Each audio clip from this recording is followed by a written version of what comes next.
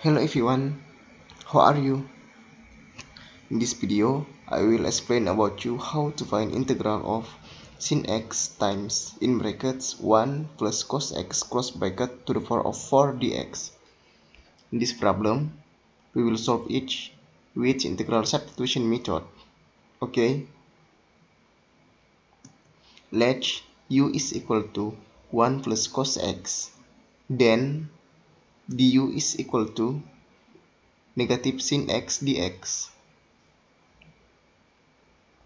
Integral of sin x times in brackets 1 plus cos x close bracket to the power of 4 dx.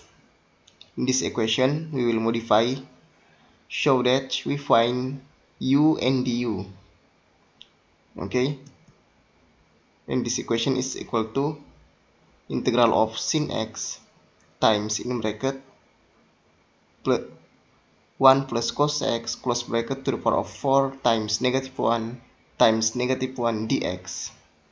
In this equation, we multiply by negative 1 and negative 1. So we get minus integral of 1 plus cos x close bracket to the power of 4 times negative sin x. In this equation, we have found u and du.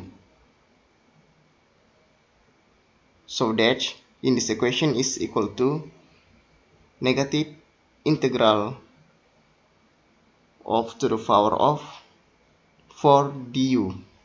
Okay? Or minus integral of u to the power of 4 du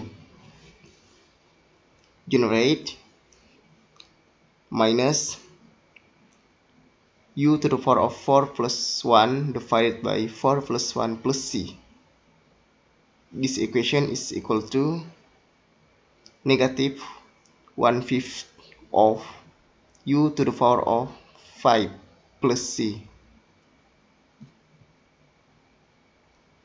The next substitution u is equal to 1 plus cos x. Negative 1 fifth of u to the power of 5 plus c is equal to negative 1 fifth of in bracket 1 plus cos x close bracket to the power of 5 plus c. Finally, we find the answer to this question don't forget like comment and subscribe. See you next time. Thank you